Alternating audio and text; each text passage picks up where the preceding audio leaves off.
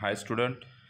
Uh, this chapter is a superposition of wave and the page number is 157 and question number is 24 the problem is the string of a guitar is 80 centimeter.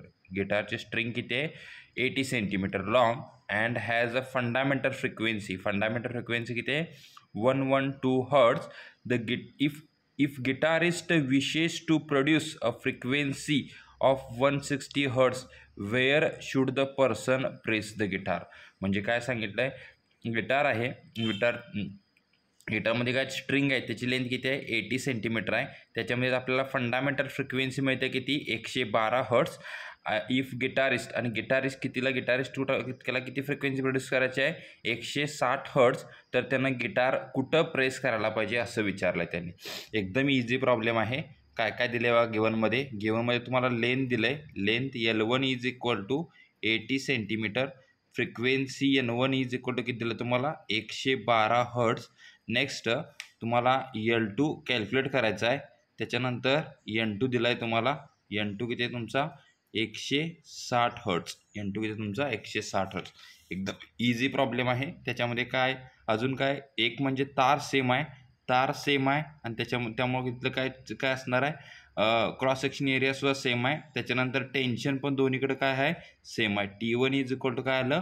T to आलं. त्याच्यानंतर मास पर net length म्हणजे M one is equal to is equal to काय आलं? M to mass पर net length दोन्हीचा काय तारचा same आला. कुठला फॉर्म्युला वापरायचा आहे sir N is equal to one upon two L root काय वापरायचा? रूट टी अपॉन काय वापरायचा? यम तर दोन्हींचा, आता दोन वायर्स आहेत. म्हणजे दोन वेळा आपण लेंथ मेजर करतो. त्याच्यामुळे दोन्हींचा काय घ्यायचा? फ्रिक्वेन्सीचा रेशो घ्यायचा.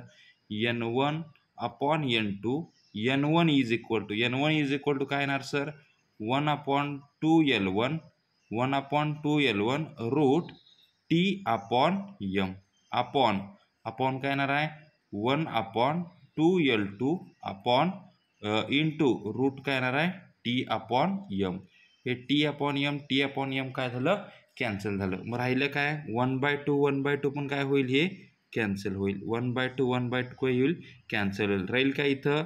N one upon N two is equal to he L two कुठं जाईल? वर जाईल. आणि एल वन काय राहील इथं? डिवाइडला राहील. तुम्हाला कॅल्क्युलेट काय एल टू एन वन दिला आहे? N one is equal to एकशे बारा डिवायडेड बाय आहे? एन टू आहे? एकशे साठ is equal to L two आणि हे किती आहे? एटी सेंटीमीटर आता आन्सर सेंटीमीटरमध्येच काढा. कारण आन्सरमध्ये त्यांनी सेंटीमीटरमध्येच काढा म्हणून सांगितलं आहे so L two is equal to किती होईल? एकशे बारा भागिले एकशे साठ आणि ऐंशी तिकडे गेलं म्हणजे काय होईल ते? मल्टिप्लाय होईल. ऐंशी एक्क्याऐंशी ऐंशी दोन्ही एकशे साठ बे एक्के बे बे पंचे दहा बे सक्क बारा. म्हणजे तुमचं एल टू किती येईल? फिफ्टी सिक्स सेंटीमीटर एका एंडपासून किती असणार तो? फिफ्टी सिक्स सेंटीमीटर एका एंडपासून किती असणार फिफ्टी सिक्स सेंटीमीटर समजलं का इथं? बघा प्रॉब्लेम एकदम इझी आहे.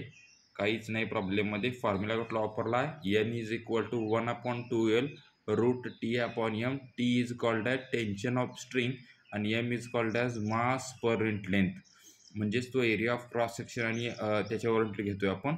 समजलं काय? एकदम easy problem thank you all of you